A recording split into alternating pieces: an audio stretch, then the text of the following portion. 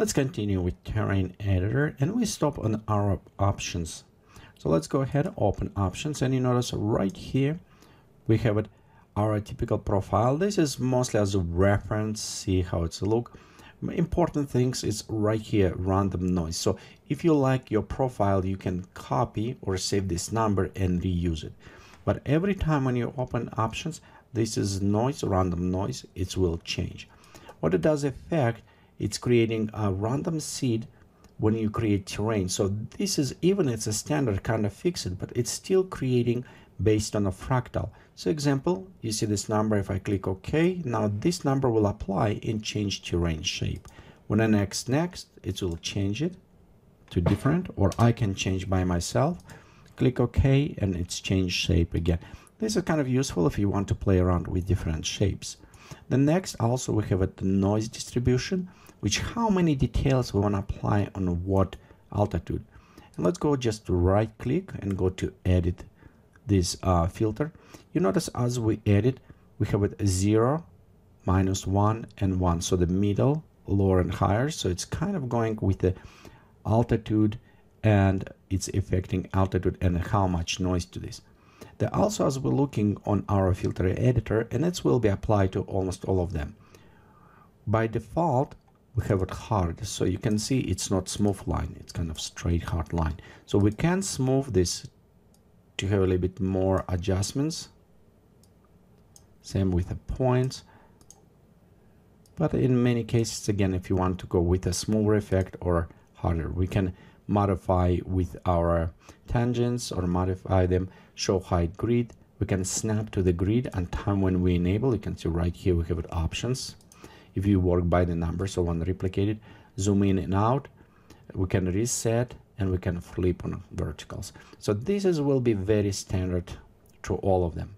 But right here, for example, I want to create noise. And I want to add this maybe to the lower kind of effect. Okay, Next we have profile new key, delete key, or you can just double time click and it will create new key. So you can delete the key and you can put it by the numbers directly what key and what position you want it. So we can also save it. And when you save, this filter will show in your collection of the filters, or you can preload it. So let's go ahead, click OK. We'll click OK one more time. And you notice right here the details apply on a lower altitude not higher. It's how we specified. So let's go back. They also have an altitude distribution. So it's meaning now when we're creating we can specify what altitude we want this random seed is distributed. So example I can say let's do middle. We'll make this plateau going right here and again on a higher altitude as well. So it's meaning from this to this height we'll just keep it same one let's click OK and we'll click OK one more time. And you notice right here, we're creating this flat which says, okay, let's use all this altitude on a lower. We kind of flatten other altitude, not all the way. We still have its little bit bumps and we'll take highest altitude and apply this as well.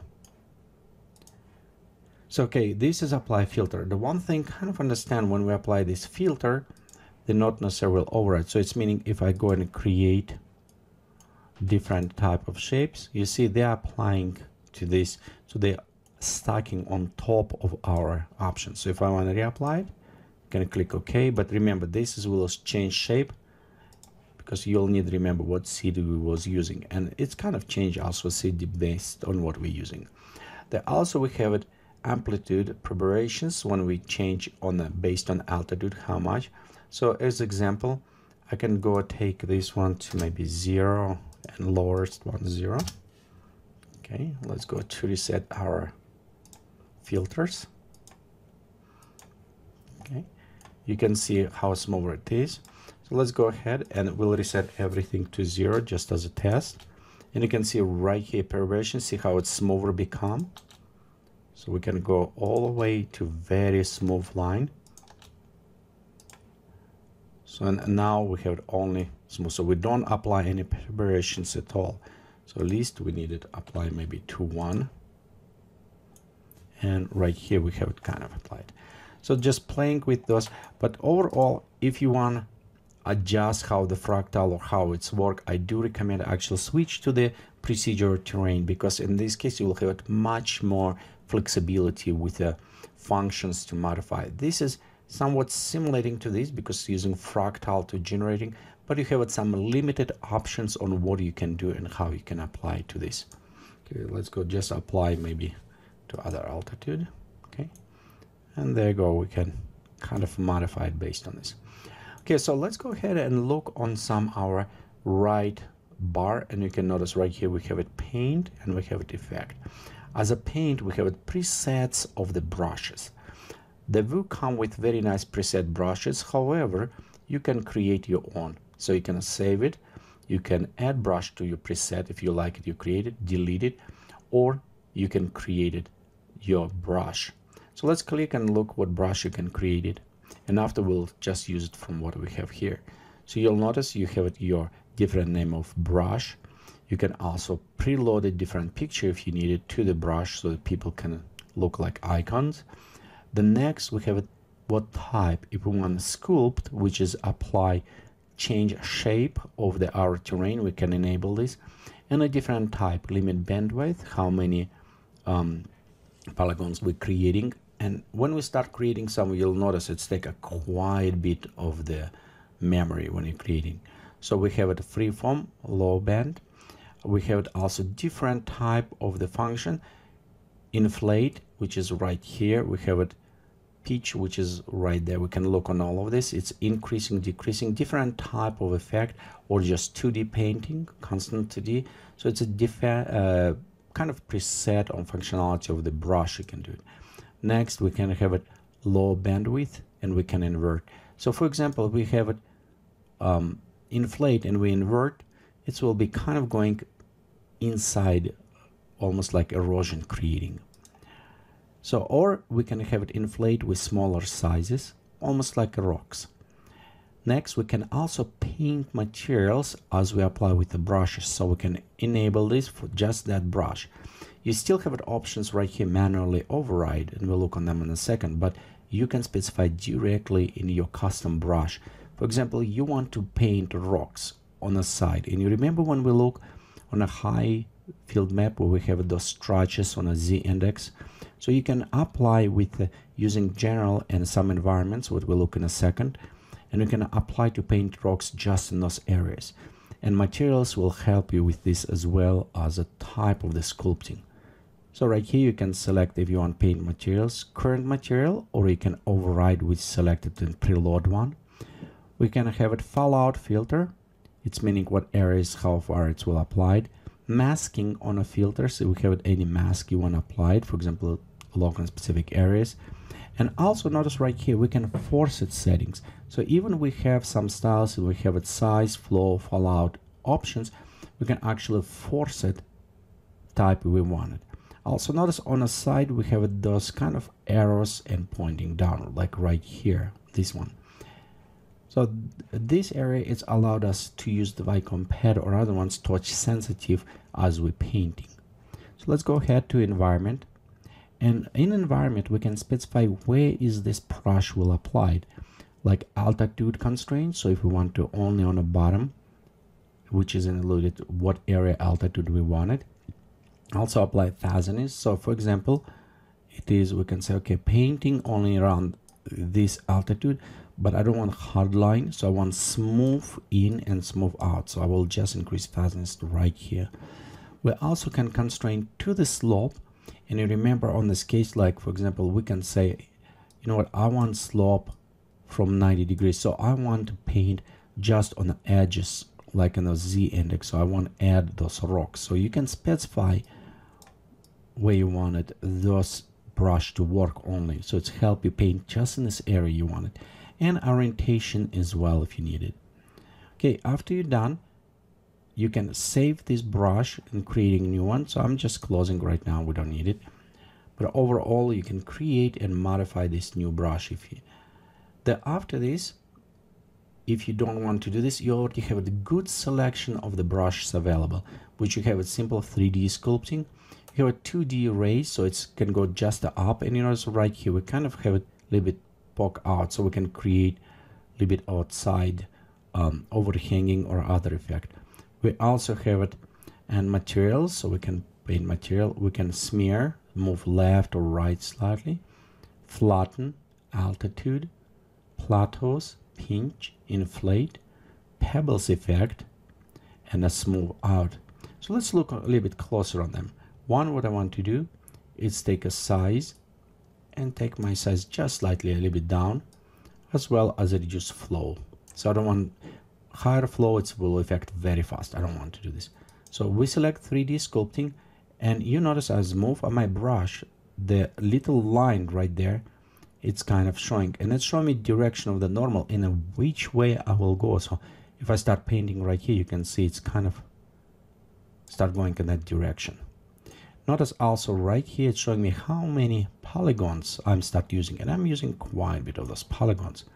So if we're going rise, you notice on arrow, it just go up. So it does not go on the side. It just normally just showing me uh, the position or directions. So it will go only up.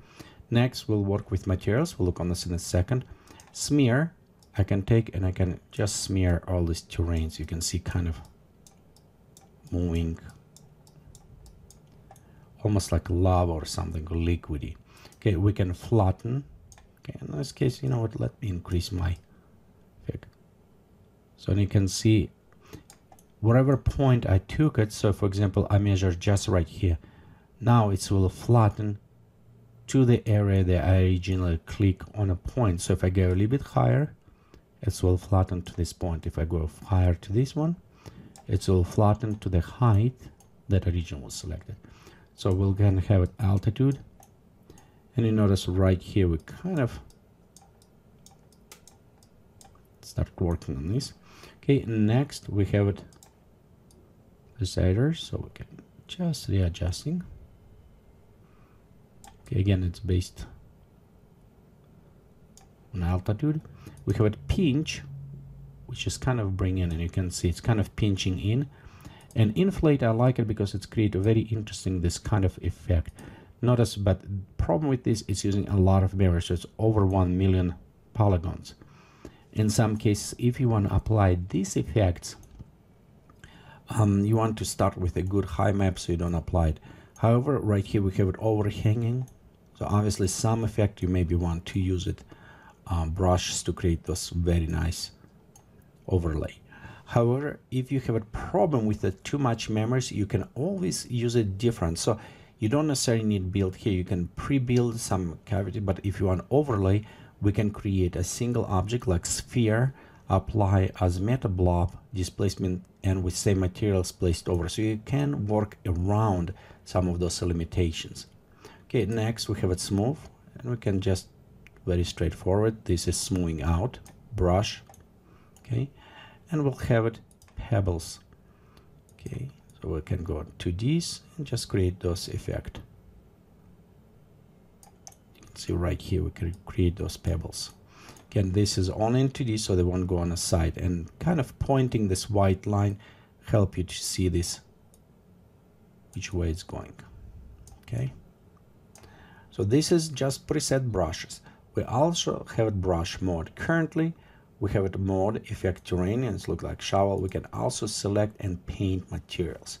As we select this, let me unselect brush so we can only paint materials and you notice we have a different like rocks everything so as example if I want to apply just materials and as pebble effect see what's happening when I start painting the materials apply only to the pebbles as I'm going so what is meaning? I can select just the rocks and I'm apply these effects.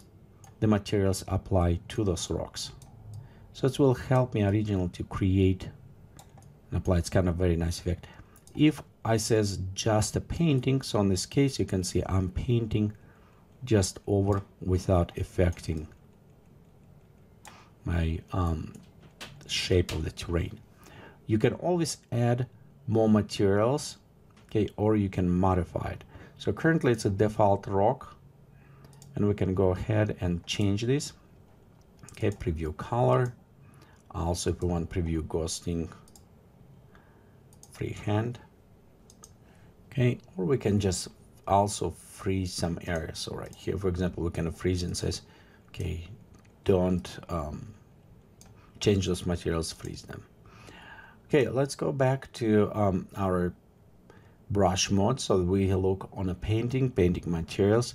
We also can have a freeze mask. So in this case, we can say specific areas do not modify. So we can protect some of these areas from any modification by applying freeze mask to specific areas as well. And we have an option to delete clear freeze mask or inverse freeze mask. So for example, if I want to do everything except this rock, I can just go ahead right here and inverse. So it's meaning I can work just on this rocks itself.